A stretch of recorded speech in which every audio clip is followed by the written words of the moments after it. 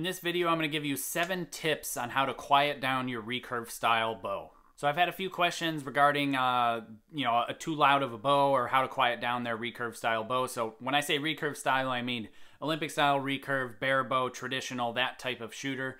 Um, so if you have a loud bow um, or you're looking at making your bow a bit more quieter, uh, this video is for you.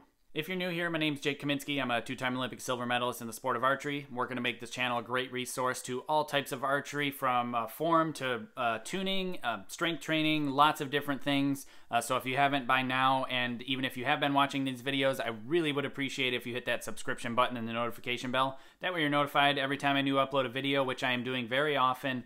And I'm just really trying to put out really good, solid, informational backed uh, you know, reasonings to my uh, suggestions to help make you a better shooter, and just basically remove all the growing pains that I had when I was growing up, and just to cut through everything and and and remove all of the misinformation and the fluff out there, and just deliver you the hard hitting facts on how to be a better shooter.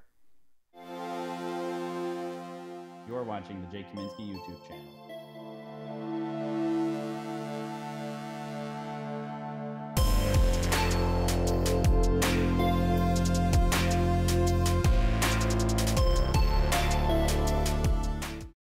All right, so in this video, uh, we're gonna cover seven ways to make your recurve bow quieter.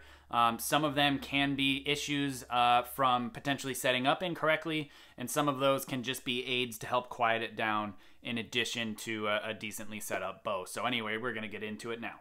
So the first thing that uh, you need to have or need to check when your bow is not sounding correct or sounding as uh, quiet as you may hope it to be is your brace height. So your brace height's really simple. You need a bow square and uh, you need to measure your uh, brace height. If you don't have a bow square, I'll put a link in the description below on where you can get a bow square. Um, they're really cheap and affordable. It's an important tool and a must-have when you're going to be shooting any type of archery, really. Uh, disclaimer, that is an Amazon affiliate link. So when you click on those links and buy those products, I get a bit of a kickback. It helps support this channel, allows me to continue to produce free content for everyone at home.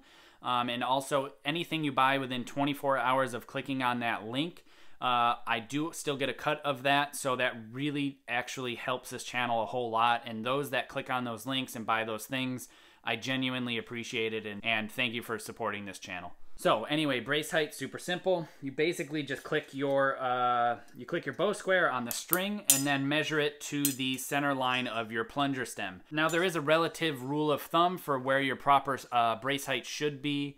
Every limb manufacturer recommends a brace height range. Um, so if you have your manual from your limbs, look there for a rough guideline.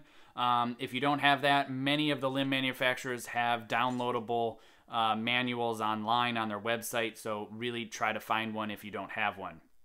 But I did also produce a video on how to set your brace height like I do. Um, if you haven't seen that by now, there'll be a link in the description below. Plus, I'll put a card up at the top here, and you click on that, it'll take you uh, to the brace height video I'm talking about.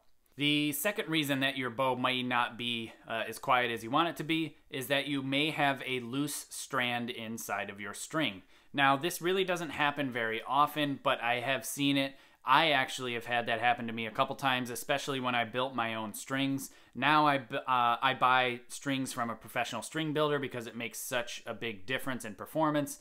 But essentially, what can happen, and it's kind of difficult to see, uh, but basically, you may have one loose strand compared to the rest of the strands in your string, and that really can affect the way the bow sounds and behaves dynamically. So what you really want to do is, as you have your string um, either on your bow, and you look at it, make sure that one strand isn't wanting to kind of like squeak out of the side of it or something.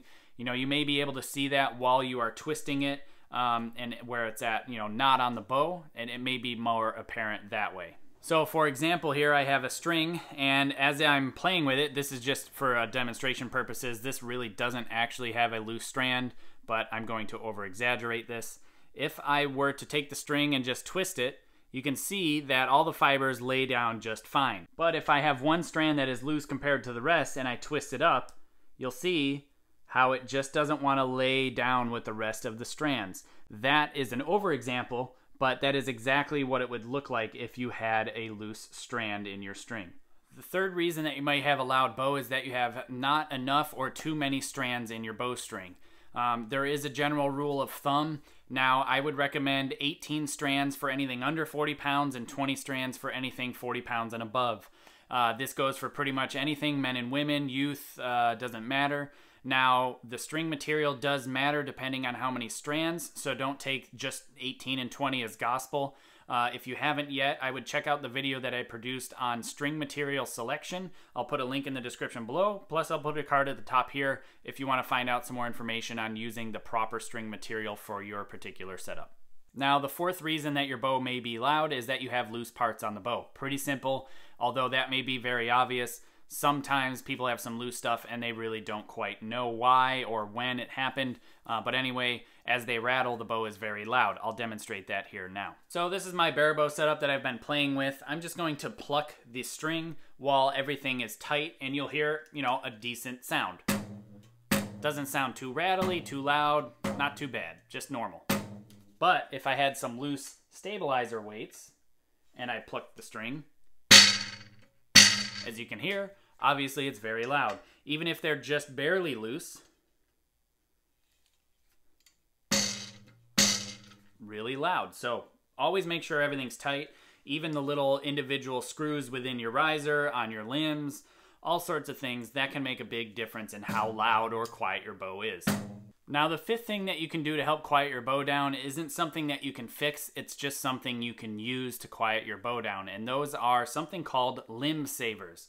Now, limb savers come in all sorts of different shapes and sizes and colors, um, but just to just keep in consideration that limb savers are a brand name, not necessarily the actual piece itself.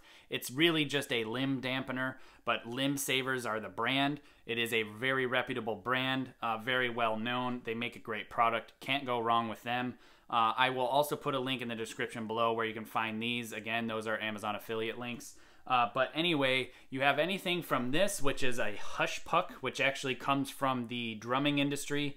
I guess it helps quiet down or uh, reduces reverberation or something like that. But those are stickable on your limbs. They do work. Um, but the limb saver style has many different shapes, sizes, and colors. So you can do colors. There's mini ones that you can stick on your sight bar, which I have in the past. There's recurve style ones, whereas this is supposed to be more of a compound style. Both work. Um, there, one's just a little bit bigger. This is one that has splits in it, so it absorbs a bit more vibration than this style. But again, there's a lot of options out there, and you can find whichever ones you would like, again, in the link in the description below. The sixth thing that you can do to help quiet your bow down is to use different dampeners anywhere on your bow. It could be anywhere in your stabilizer system, like on these V-bars here. You can see some dampers in between the weights. You could move the dampers more towards the rod and have more weights on the end. That'll give you a bit more vibration dampening qualities, which can help reduce your noise. There, there are other style of dampers like this is a this is from Doinker. This is a an A bomb style damper, um, which again, uh, you know, can be adjusted and and and customized. This is one that goes on the end of your stabilizer. You could screw it into anywhere on your riser that there's a hole. This will help reduce some vibration. Here's another style that slides onto your stabilizers, onto your sight bar, things like that to help quiet it down some more. And again, another style, another option to slide onto your stabilizers. So there are a lot of uh, varieties, a lot of options out there, and uh, I'll have some links in the description on where you can get some of these styles um, online. But yeah, you, these are definitely important. Obviously, on the bare bow class, you're not allowed a weight or a damper like this in between your weights and your bow. You are allowed limb savers, um, and so you know that'll help quiet down the bare bow quite a bit. And the last tip on how to help quiet your bow down is to make sure you have a proper tune. I've seen some arrows that are totally underspined for the bow, and it sounds like a shotgun going off, not like a bow being shot. So uh, if you haven't yet, I would highly recommend ch checking out my tuning series. There will be a link in the description below. I'll put a card at the top as well. Uh, but basically, I go through taking you from top to bottom, how to set your bow up like a professional, how to have the best tuned bow, help you shoot higher scores, and it will be quieter in the long run as well. So if you haven't by now, check that video out. It'll help you get a much quieter bow. Thanks for watching, and thank you to my Patreon supporters. If you want to become a Patreon supporter or check out books, apparel, and some seminar info, head to jkaminski.com and uh, be sure to hit that subscribe button and the notification bell to be notified every time a new video is uploaded. And I appreciate you watching. Thank you again.